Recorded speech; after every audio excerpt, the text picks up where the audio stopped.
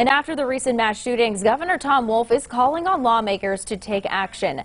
U.S. Senator Bob Casey and Governor Wolf holding a rally at the state capitol last night, calling on lawmakers to pass gun legislation.